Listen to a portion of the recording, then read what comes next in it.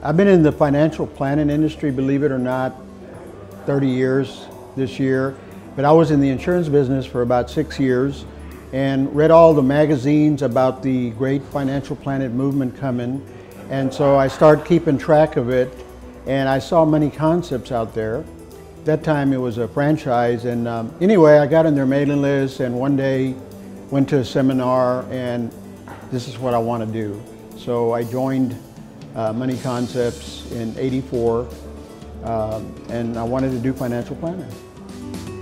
Over the years, I mean, I had different niches, the baby boomers, uh, business owners, but the last five years pretty much have settled on educators, both in the public school system and in the college system. In their pension plan, uh, basically because my mother, my mother-in-law, my wife, my sister all went through that pension and in Texas the pension is a not a very good pension.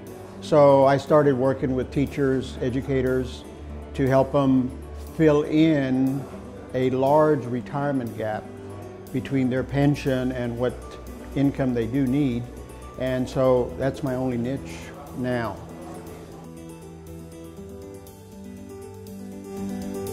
I don't think I've ever lost a client because of the account or their market value. Um, thank God. I mean, just haven't they haven't left, and um, I think you know mainly is because we um, we really find out their risk management. We we find out you know what they don't want, uh, and and put them in the right type of portfolio, where even on an up or down, they know well that was supposed to happen. I understand it, and they're very happy. So we've never had a really a problem with any client on a portfolio just to really um, get more educator clients. There are so many of them and there's not any or there's not enough good financial advisors out there to teach them.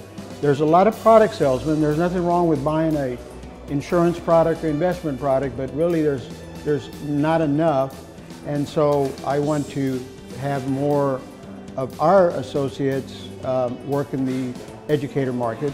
Now that we know the system on how to do it, we know their pension, we know those that have Social Security, those that don't have it, we know what their retirement gap's going to look like, and so it's just a matter of putting them together.